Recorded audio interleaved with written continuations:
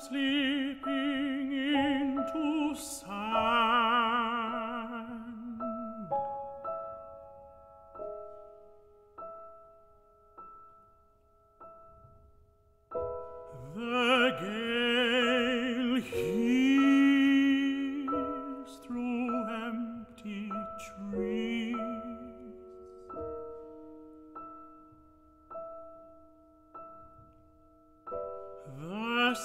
City still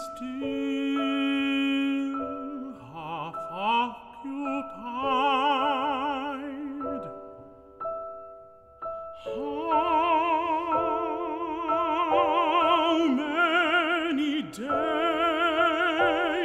has the sun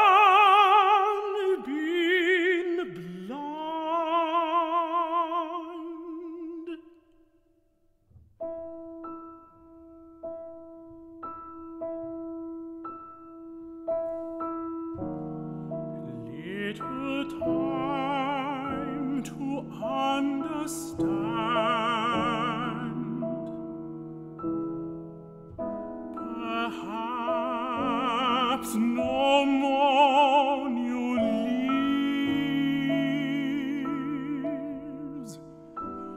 seats white spot with fungus.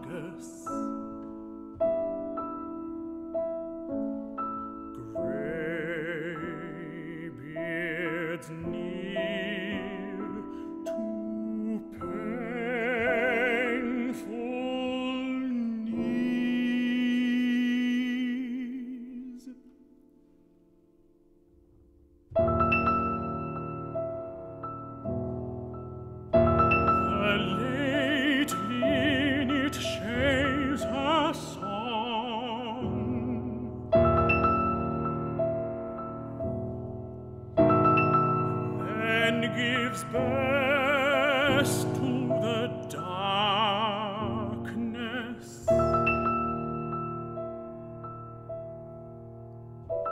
The silver moon's eclipsed by snow.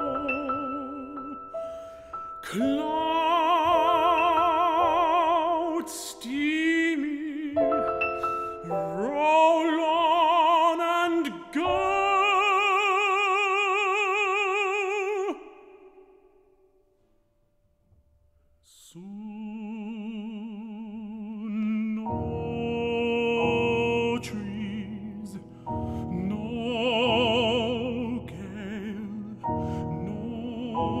time.